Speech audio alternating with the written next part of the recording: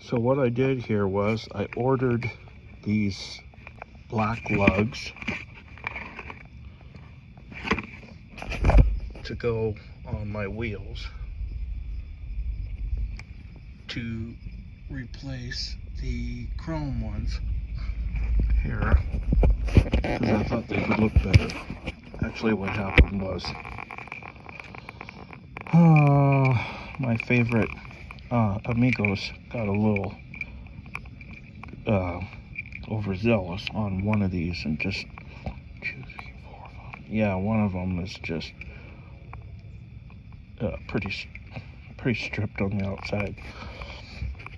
So I'll have to get one more of those. So, anyways, I found out that the lugs here get stuck in the gun.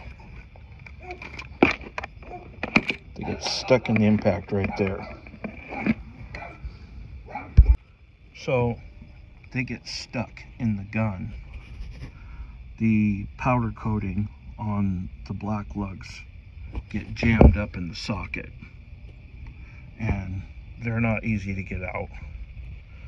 So I think for now I'm going to switch back to these regular uh, chrome ones with no coating on them and uh, that'll be much easier. I'll figure something else out. So that just made the choice for me. Black is not for me. At least the powder coated ones aren't.